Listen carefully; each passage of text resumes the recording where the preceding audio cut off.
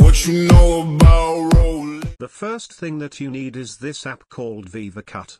You can download it for free from Play Store or App Store. Or?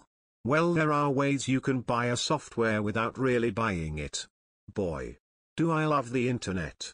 But we're not here to discuss how to do some illegal, sh. Anyway. Open it up. Then go to, Template. Then make sure that you've selected the TikTok menu. It's a jackpot in here people.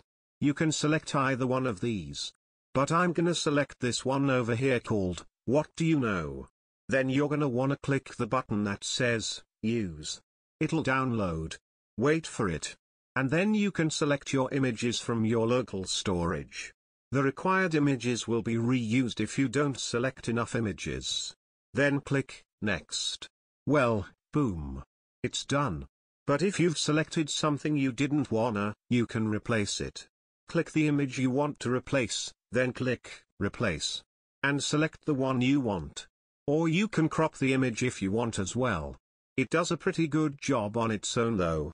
Then click Export. Now select the quality of your output. You can also change the frame rate from here. But best leave it at default.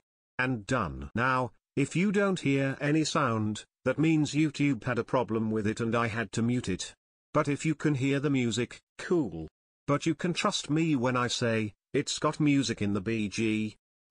What you know about rolling down? Deep when your brain goes numb, you can call that mental freeze when these people choke too much, but they shit is Subscribe for more relaxation.